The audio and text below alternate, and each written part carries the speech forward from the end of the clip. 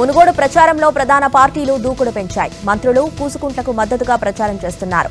ఇక బీజేపీ కూడా గ్రామ గ్రామాన బైక్ ర్యాలీలతో హోరెత్తిస్తోంది. పశ్చిమ గోదావరి జిల్లాలో అమరావతి రైతుల మహాపాదయాత్ర కొనసాగుతోంది. రైతులకు అడుగడుగునా ప్రజలు బ్రహ్మరథం పడుతున్నారు. పూలు చల్లుతూ గ్రామ గ్రామాన ఘనస్వాగతం పలుకుతున్నారు. మహాపాదయాత్రపై మంత్రులు చేసిన వ్యాఖ్యలపై రాజధాని రైతులు మండిపడుతున్నారు. రాష్ట్రం కోసం త్యాగాలు చేస్తే తమకు ఇచ్చే గౌరవం ఇదేనా అని ప్రశ్నించారు. అమరావతిని నాశనం చేస్తే సహించేది లేదని హెచ్చరించారు. కర్ణాటకలోని మాయసండ్రలో భారత్ జోడో యాత్ర కొనసాగుతోంది. రాహుల్ వెంట వేలాది మంది ప్రజలు నడుస్తున్నారు. పార్టీ నేతలకు రాహుల్ దిశానిర్దేశం చేస్తూ ముందుకు కదులుతున్నారు.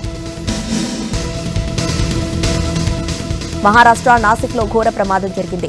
ఓ ప్రైవేటు బస్సులో మంటలు చెలరేగడంతో పది మంది సజీవ దహనమయ్యారు మరో ముప్పై ఎనిమిది మందికి పైగా తీవ్రంగా గాయపడ్డారు. మృతుల సంఖ్య పెరిగే అవకాశం ఉంది. చిత్తూరు జిల్లా గంగధార నెల్లూరు పోలీస్ స్టేషన్ ఆవరణలో భారీ పేలుడు సంభవించింది. పలు కేసుల్లో పట్టుబడిన కార్లు బైకులు దగ్ధమయ్యాయి. పోలీస్ స్టేషన్ కిటికీల అద్దాలు కూడా ధ్వంసమయ్యాయి. కృష్ణా జిల్లా గూడూరులో రికార్డింగ్ డాన్స్లు నిర్వహించడంపై ప్రజలు మండిపడుతున్నారు. పోలీస్ స్టేషన్ దగ్గరలోనే రికార్డింగ్ డాన్స్లు ఏర్పాటు చేసినా పోలీసులు పట్టించుకోలేదని మండిపడుతున్నారు. తిరుమలలో భక్తుల రద్దీ కొనసాగుతోంది. దర్శనాల క్యూ లైన్లు కంపార్ట్మెంట్లు లడ్డూ కౌంటర్ల దగ్గర భక్తులు అవస్థలు పడుతున్నారు.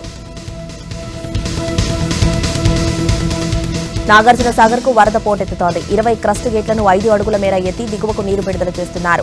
ప్రాజెక్టుకు పూర్తి స్థాయిలో నిండిపోవడంతో రెండు లక్షల క్యూసెక్ల నీటిని దిగువకు వదులుతున్నారు. బంగాళాఖాతంలో అల్పపీడన ప్రభావంతో తెలుగు రాష్ట్రాల్లో జోరు వానలు కురుస్తున్నాయి. మరో రెండు రోజుల పాటు ఇదే పరిస్థితి ఉంటుందని వాతావరణ శాఖ హెచ్చరించింది. ప్రయాణికులకు హైదరాబాద్ మెట్రో గుడ్ న్యూస్ చెప్పింది. ఇకపై రాత్రి పదకొండు గంటల వరకు మెట్రోలో ప్రయాణించేలా సమయంలో మార్పులు చేస్తుంది ఈ నెల పది నుంచి అమలు చేయనున్నారు. భర్త పెట్టే చిత్రహింసను తట్టుకోలేక భార్య అతన్ని గొడ్డలితో నరికి చంపింది. ఈ ఘటన శ్రీకాకుళం జిల్లా చెట్ల తండ్రులలో జరిగింది. పోలీసులు కేసు దర్యాప్తు చేస్తున్నారు. వాణిజ్య వ్యవహారాల పార్లమెంటరీ స్థాయి సంఘం చైర్పర్సన్గా అభిషేక్ మను కాంగ్రెస్ నామినేట్ చేసింది. పలు పార్లమెంటరీ స్థాయి సంఘాల పునర్వ్యవస్థీకరణలో భాగంగా అధిష్టానం ఈ నిర్ణయం తీసుకుంది. ఓలా ఉబర్ ర్యాపిడో కంపెనీలకు కర్ణాటక రాష్ట్ర ప్రభుత్వం షాక్ ఇచ్చింది. రాబోయే మూడు రోజుల్లో ఆటో సర్వీసులను నిలుపుదల చేయాలని ఆదేశించింది. ఇరాన్లో రోజు రోజుకు హిజాబ్ ఆందోళనలు ఉధృతమవుతున్నాయి. మహిళలు భారీ ఎత్తున నిరసన తెలుపుతున్నారు. జుట్టు కత్తిరించుకొని ధర్నాకు దిగారు.